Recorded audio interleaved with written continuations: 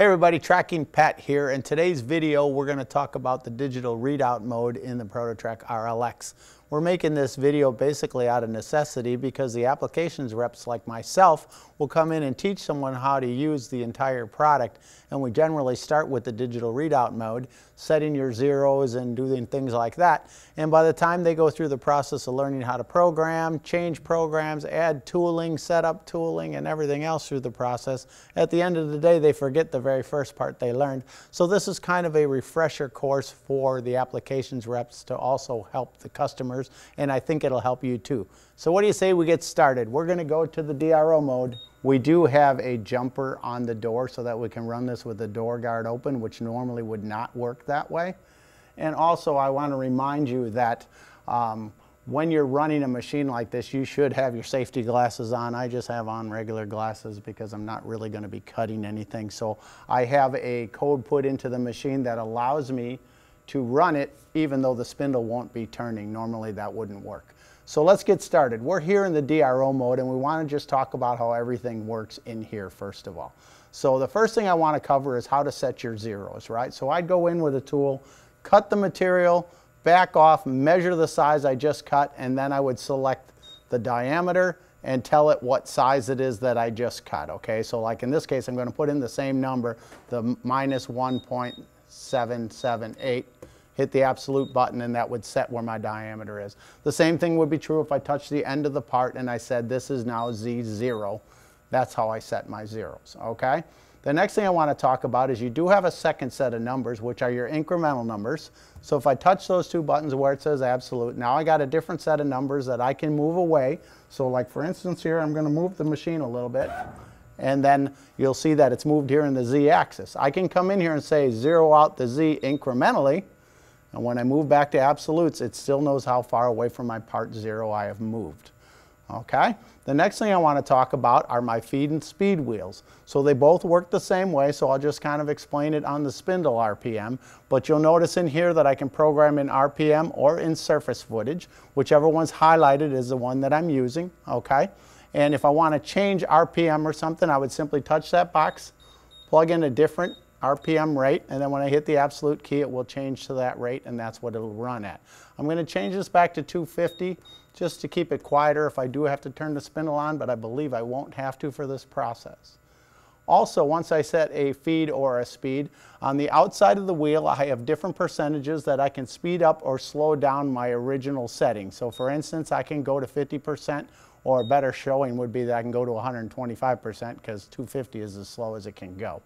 I can also change it by 1% at a time. So while I'm running the machine, if I'm trying to dial it in for the perfect cut, I can move it up or down 1% at a time and it will adjust accordingly. The last way that I can adjust is by touching the wheel and the farther I bring my finger out, when I rotate my finger, it dials the wheel to change it on the fly until it sounds just right.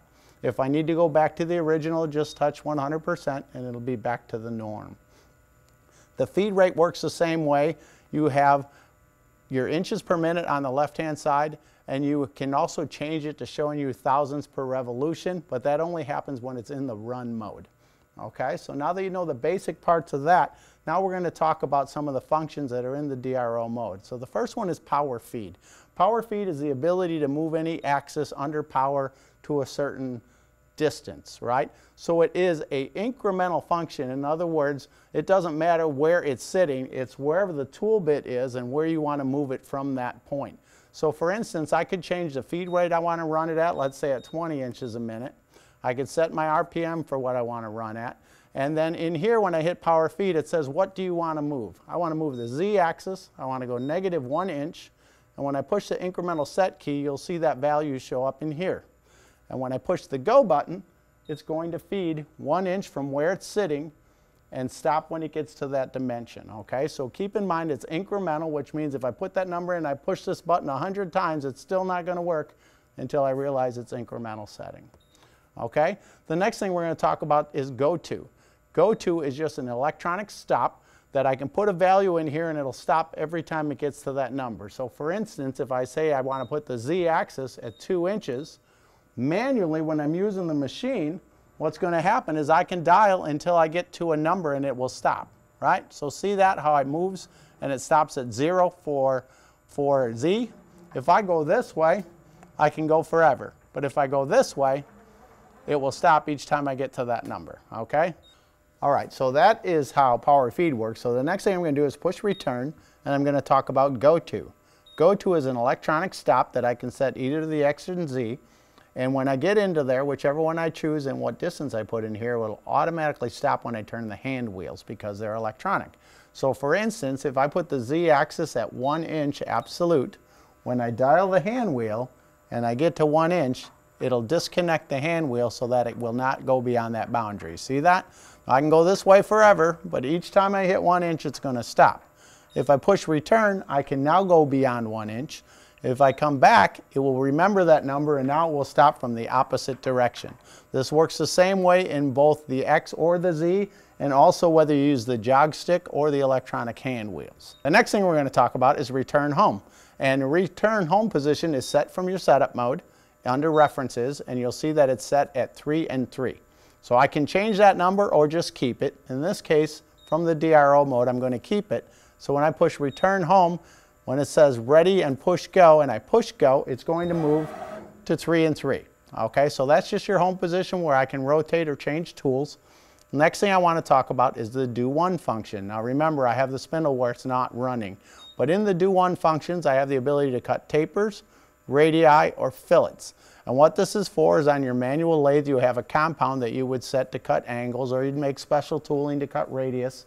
In this case, you can do it all from the manual mode in the machine. So I'm just going to move this thing over a little closer to the part so it makes a little bit more sense when you see it. I'm going to change over here to the coarse feed. And let's say I wanted to cut a 45 degree taper. I would select taper. I would set 45 or any other number push my absolute key, and as you can see on the tool bit, as I turn the hand wheel, it moves at a 45 degree angle. Now what's important to understand is when I go backwards, when it gets to the number I started at, it also disconnects the hand wheel so it won't gouge something that I cut previously before I use this. Now the same thing is true if I want to cut a radius. I'm going to put a very large one in here so you can see it happen. I'm going to say I want to do a one inch radius. And as I turn the hand wheel, it's going to cut 90 degrees of radius from start to finish and it's going to disconnect the hand wheel on both sides. Now just so you know I can do that either with the fine or the coarse feed and if I use the fine feed I would be using the x-axis hand wheel and if I use the fast speed or the coarse speed I would be using the z-axis hand wheel.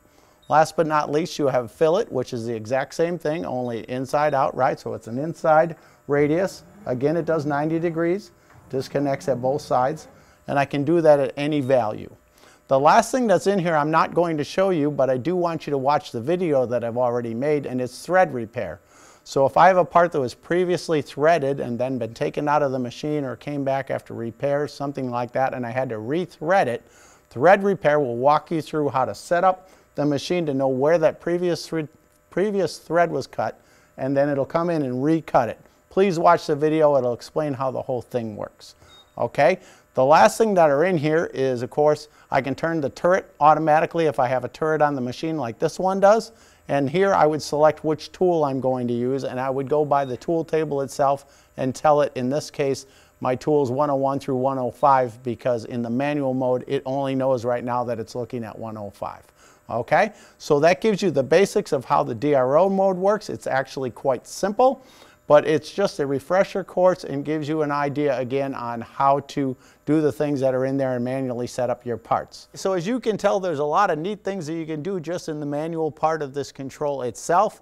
Hopefully what you've learned here will be beneficial to you. It'll remind you some of the things you learned originally and you'll be able to use them again as part of your day-to-day -day operations. Thank you much for watching. I'll see you in the next video. As always, keep on tracking. More energy after I eat lunch. no,